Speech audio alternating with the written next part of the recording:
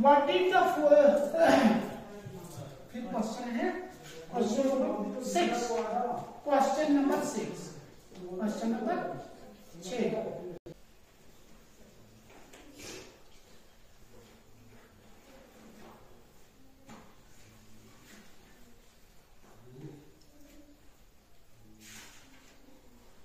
झगड़ा करते ना? आपस में तू तू मैं मैं हाँ? हर दैट इज़ बिगरिंग कि not long after this one of the quails in alighting on their feeding down toward the accident upon another's head. ये तो पढ़ा था हमने। एक की लात दूसरे के सर पे पड़ गई थी एक्सीडेंटली हादसा हुआ था ऐसा, लेकिन फिर वो क्या करना शुरू हो गए? लड़ाई करना शुरू हो गए थे ना वो फिर। पद करे ना वो लड़ाई? लड़े थे ना फिर? हाँ फिर वो लड़ाई कर रहे थे। वो सारे क्या कर रहे थे? लड़ाई कर रहे थे। तो उस लड़ाई की वजह से फिर आपस में उनकी अनबन हो गई और इस वजह से इस चीज़ का फ़ायदा किसने उठाया? फाउलर ने। फाउलर जो था, फाउलर कौन था? एक तो आप याद नहीं रखते हो जो चीज़ मैं आपको बोलता हूँ। फॉलोअर कौन था? शिकारी था ना? हा? फॉलोअर कौन था शिकारी तो उसके बाद क्या हो गया see end of the fowler came back again a few days later कुछ दिनों के बाद ही फोलर फॉलोअर जो था वो वापिस आया and first collecting them together by imitating the note of a quail, flung his net over them, then said one quail, they said, uh, they say, when you were at work lifting the net, the hair of your head fell off. Now is your time, lift away. The other rejoined, when you were lifting the net, they say, both your wings molded, now it's your time lift away. Whilst they were each inviting the other to lift the net, the fuller himself lifted the net for uh, them and crammed them in a heap into the basket and bore them off uh, home, which made his wife happy. तो वो आपस में लड़ने लगी वो कोयले। वो कहने लगी एक कहने लगी जब पिछली बार हमने मैंने नेट उठाया था तब तुम्हारी पंख पंख पीछे फंस गए थे। दूसरों ने तब तुम पता नहीं क्या हो गया तब तुम्हें क्या हो गया था? जब पिछली बार हमने नेट उठाया था तो तब तुम ये कर रही थी, तुम और किसी चीज़ में बिज़ी थी, तब मैंने नेट उठाया था, अब उठा। तो वो एक दूसरे को बोले कि तू कर तू कर। तब तक फौला ने खुद ही कर लिया, उसने उठा लिया नेट और घर ले गया। आराम से उनको, उसने टोकरी में डाला और ले गया घर। फिर उसकी बीवी जो है वो बहुत खुश हो गई। ठीक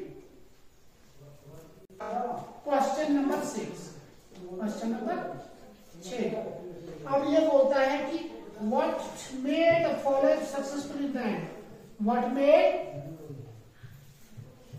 अब इसमें भी एक लेसन है। What made the Fowler Fowler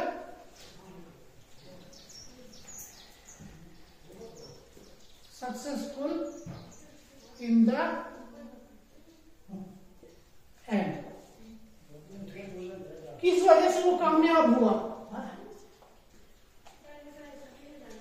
इसका आंसर है, यहाँ ये ये लेसन जो है, इसके डबल मतलब है। डबल सबक ले सकते हैं हम इससे। किससे? इससे डबल सबक ले सकते हैं। एक तरफ़ जो कोयल्स थी, वो क्या करती थी? झगड़ा करती थी। आपस में झगड़ा करने लगी। पहले तो उन्होंने इतफाक दिखाया। जब इतफाक दिखाया, उन्होंने they unitedly fought against the fowler they succeed वो कामयाब हो इसका मतलब यह है कि आपकी क्लास जो फिफ्थ क्लास है, अगर वो दूसरे लोगों के आपस में झगड़े नहीं तो कोई भी क्लास उनको सुपरसीड नहीं कर सकती। उन पे फतह हासिल नहीं कर सकती। और अगर फिफ्थ क्लास वाले आपस में लड़े तो फिर चौथी वाले या तीसरी वाले भी उन पर बाढ़ी पा सकते हैं। ठीक है? तो इसलिए हमें आपस में पहले झगड़ा नहीं करना है। क्या क्या नहीं करना है? झगड़ा नहीं करना है। सबसे पहली बात हमने झगड़ा नहीं करना है। ओ झगड़ा करेंगे तो क्या होगा? पूरी क्लास बिखर जाएगी। ठीक है? पूरी क्लास बिखर जाएगी और ये, ये किसी के साथ मुकाबला नहीं कर पाएँगे। तो और दूसरी बात अगर हम फाउलर की चीज़ ले ले कि फॉलोर ने क्या किया? फॉलोर तो रोज आता था, बेचारा परेशान होकर वापस चला जाता था। लेकिन उसने हिम्मत नहीं हारा। हिम्मत नहीं ना हारी उसने। वो सब्र तहमुल और पेशेंस से काम करता रहा और उसकी पेशेंस आखिर में रख लाई, जिसकी वजह से वो कामयाब हुआ। तो वही बोल रहा है what made the fowler successful in the end तो अगर आप ही सबर करोगे सबर करोगे सबर करोगे, हमने क्या करना है? sub, sub, sum. So what made the Fowler successful in the end? It, it was, it was, it was the, the patience, patience, patience of, of the, the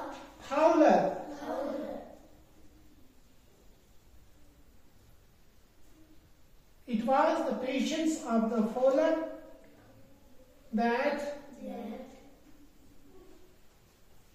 made him success successful in the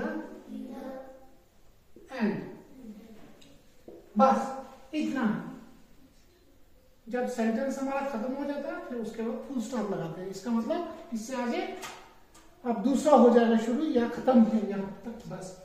तो it was the patience of the fowler that made made him, him successful, successful in the end. तो last में वो कामयाब हुआ किसकी वजह से?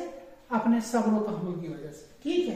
तो हमें भी सब्र से हमेशा काम लेना चाहिए। तो इस इस स्टोरी से हमें यही दो आ, आ, क्या कहते हैं सबक मिलते हैं कि अगर हम पेशेंस से काम करेंगे तो एक दिन हम कामयाब हो जाएँगे।